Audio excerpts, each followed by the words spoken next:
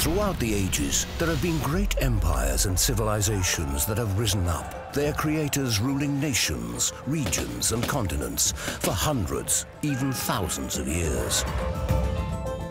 Some of the great legacies and accomplishments of these empires may be lost in the mists of time, but from what they have left behind in rock and ruin, we can trace remarkable stories.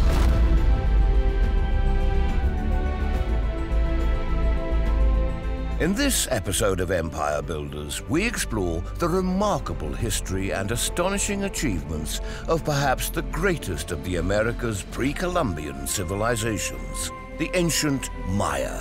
They created one of the ancient world's most stunning civilizations in the very unlikely milieu of a tropical rainforest. And we find it very hard to work out how people without metal, uh, without the wheel, without draft animals, were able to build these colossal temples.